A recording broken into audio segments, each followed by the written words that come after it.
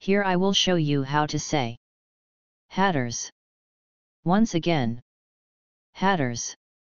Well done, please like and subscribe.